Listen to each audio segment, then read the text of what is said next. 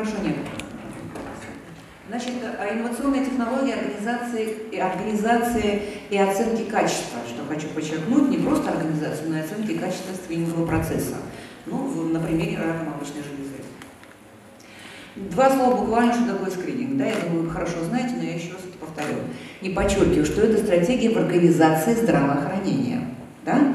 Прежде всего, здравоохранение нужно поздравить здравоохранение Чувашской Республики активно именно в этом участвует, в организации скрининга рака молочной железы на вашей территории.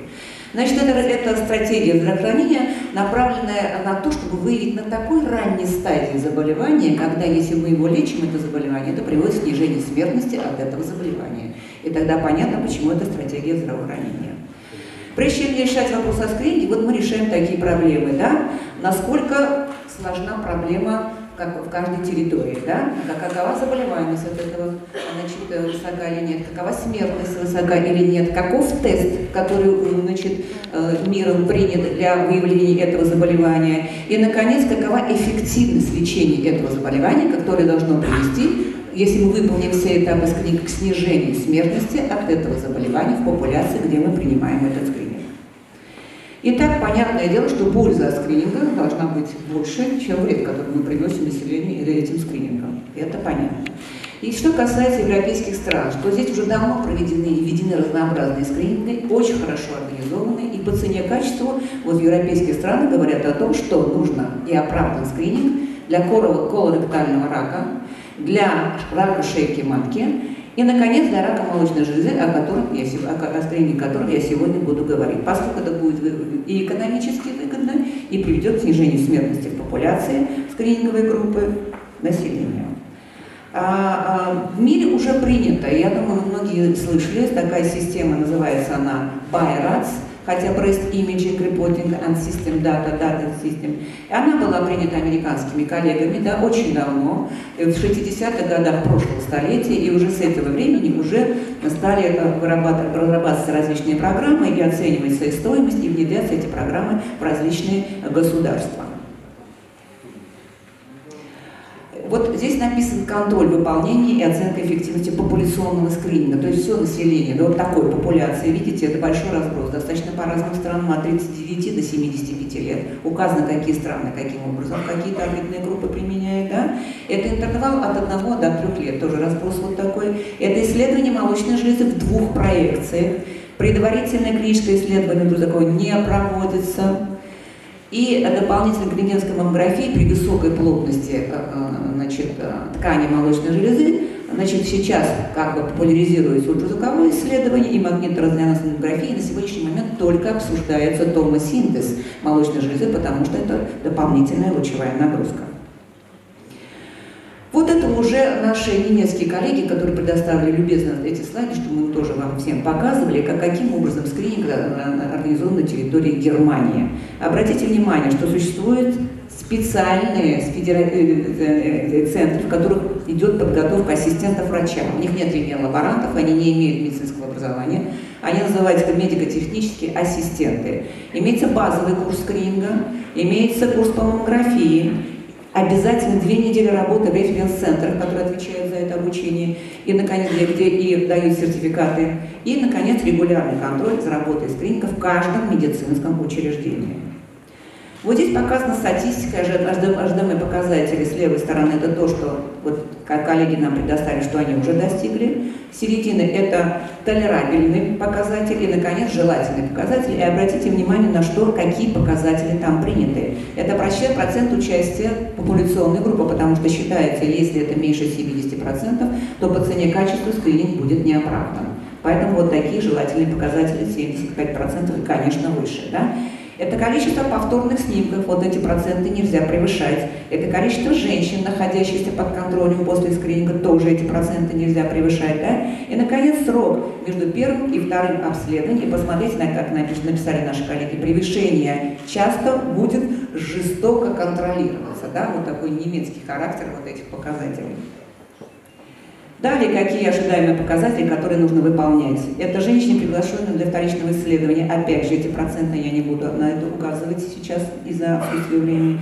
количество клинически невидимых опухолей, то есть доклиническая диагностика рака молочной железы. Обратите внимание, более 70% популяции да, должно быть с, с болезнями, которые клинически себя никак не проявили, то есть у здоровых женщин, да, относительно здоровых женщин. Да.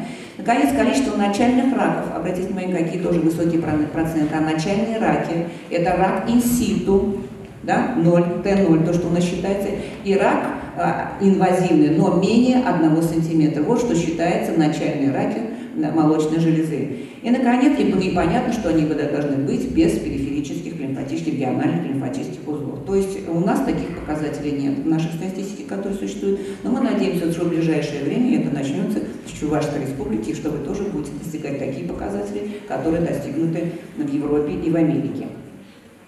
Далее, что касается уже специализированных учреждений, когда с подозрением на рак молочной железы, это четвертая стадия, э, четвертая и пятая группа по Байрат-системе, где в большем или меньшем проценте подозревается рак молочной железы, какие показатели должны быть достигнуты уже в специализированном онкологическом учреждении, когда доказывается рак гистологически. Отношение доброкачественных и злокачественных должно быть меньше единицы, да? При вакуум биопсии они отдельно подсчитывают и при ультразвуковом исследовании. И, наконец, количество биопсий, чтобы не было ложно положительных результатов. Да? То есть никаких ошибок, ну, во всяком случае, менее 10% это должно быть, когда вы делаете срочное гистологическое исследование на операционном столе. Вы прекрасно знаете, вот здесь патоморфологов нет, что патоморфологи не любят срочное гистологическое исследование. Потом все равно это заканчивается плановым гистологическим исследованием.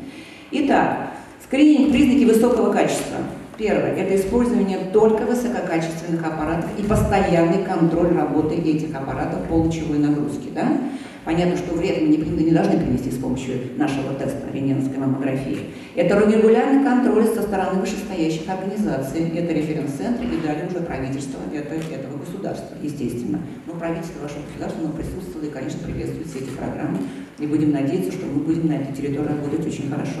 Это просмотр маммограмм двумя врачами, причем независимый просмотр двумя врачами, не менее пяти тысяч исследований в год. Вот для того, чтобы не терял навык рентгенолог, который занимается скрининговой маммографией. И, наконец, конечно, документирование и последующая обработка всех полученных результатов с качественными показателями.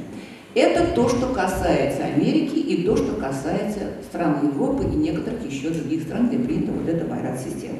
Что касается Российской Федерации, здесь представлены все законы, которые с 2006 года до 2017, а вступил в силу 17 вот закон о диспансеризации с января 2018 года, где четко обозначены все этапы. Э, это за рубежом обозначены все этапы. У нас обозначена только таргетная группа, да, только то, что нужно делать две молочных железы в двух проекциях стандартных, и только то, что вы видите, если имеется э, компьютерная томография молочных желез, я, честно говоря, не очень знаю, где проводится компьютерная томография молочных желез, да, но тем не менее, значит, при мастектомии и если проведена компьютерная томография да, в предыдущий год. Вот это обозначено в последнем приказе о диспансеризации, хотя все предыдущие приказы тоже выполняют такую же функцию, перекрещиваются. Что касается того, что мы предлагаем регионам Российской Федерации и что уже внедрено в некоторых регионах Российской Федерации и в Чувашской Республике в том числе. Мы еще только показатели не опубликовали, потому что в одном мы опубликовали, я вам покажу. А в Чувашской Республике, я думаю, в конце года мы опубликуем, да, вот с главным рентгенологом внештатным, с главным онкологом внештатным, результаты уже по Чувашской Республике, потому что мы здесь это тоже внедрили. Мы э, внедрили здесь там, э, систему описания рекомендаций и статистики, она называется, да, она основана, конечно, на Байрат-системе, ничего нового мы тут не выдумывали, мы просто все это формализовали да, с помощью э, э, айтишных специалистов. Что позволяет делать эта система описания, рекомендаций, статистики для маммографического скрининга? Стандартизация деятельности лучевого диагноста очень важна, общепринятым международным стандартом. Самообразовательный процесс на местах можно осуществить Облегчение деятельности рутинной работы лучевого диагноста, потому что в результате применения этой системы вы получите печатный формализованный протокол. И вот этот печатный формализованный протокол очень нравится онкологам, чтобы не разбираться в наших почерках. Да? Это взаимодействие очень важно между различными медицинскими учреждениями. Это доступная база данных, это, наконец, статистическая отчетность, которую вы выработаете на своем, своей территории. Будете учитывать немецкий опыт, не будете, это уже как бы решат ваши специалисты нештатные. Да? И, наконец, это конечные результаты, это научная база, этим уже заниматься будет онкологический научный центр, да? тогда будут уже создаваться системы поддержки принятия решений, так называемое интеллектуальное программное обеспечение. Сейчас у нас создан, создан модуль маммографии, первый второй просмотр можно сделать с онкоцентра или между различными учреждениями региона. У нас он уже опробирован в в других регионах и в Чувашской республике в том числе. А, это модуль ультразвуковой маммографии, он разработан, уже формализованный протокол, сейчас опробируется у нас, и думаю, я в онкоцентре, я имею в виду. Я думаю, будем опробировать и в Чувашской республике. И, наконец, последний это будет модуль МРТ-маммография, тоже формализованный протокол, он только в стадии разработки. Ну, наконец, модуль статистика и модуль справочная информация. На чем две крупные составляющие вот этой сорс-системы. Это системная платформа, которая позволяет передавать, распределенно хранить, распределенно подчеркну, подчеркну да, проводить статическую обработку различных медицинских организаций. А то, что нас с вами интересует, это специализированный компонент, вот эта сорс-система, которая основана на формализованном протоколе. Вот таким образом уже системная архитектура представит основную платформу передачи из региона в регион, передача между вашими регионами и онкологическим научным центром. Это что уже захочет регион, в который мы входим. Эта система позволяет это сделать. А вот то, что нас с вами волнует, и то, чего уже делают специалисты в, Чувашко, в Чувашской республике, вот они заполняют такой формализованный протокол, который представлен да, Э, представлен вкладками и полями, и когда вы идете по вкладкам полей, по полями вы заполняете печатную форму, которая очень нравится э, клиницистов. Но я хочу обратить ваше внимание, тут не очень хорошо видно, но тем не менее, заключение – это самое важное. Да? Можно даже убрать этот формализованный протокол, просто для базы это не очень хорошо, да? для научной.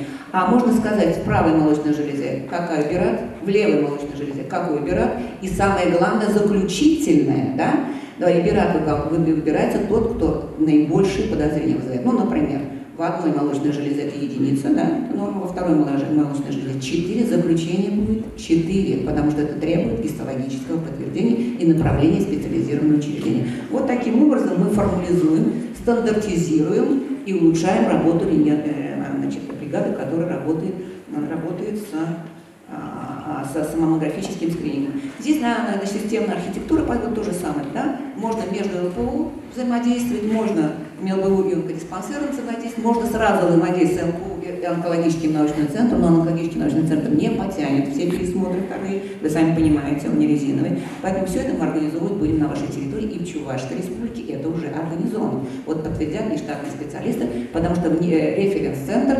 организован в ПОДе, да, в клиническом онкодиспансере Чувашии, и очень хорошо работает. А здесь показано просто не ваш регион, еще ваш регион мы будем публиковать. В ближайшее время мы это уже опубликовали в журнале Игорь Евгеньевич, он является главным редактором, да, и посмотрите, какие результаты мы получили при независимом просмотре двумя рентгенологами, один рентгенолог, рентгенолог это э, региона, второй рентгенолог онкологического научного центра, и мы улучшили диагностику рака молочной железы на 18-47%. 47 почему так-то высоко получилось? Потому что все нулевые категории мы сразу переводили в специализированные учреждения, да, ну и промежуточные стадии. И этим самым улучшили вот эту диагностику. Спасибо за внимание.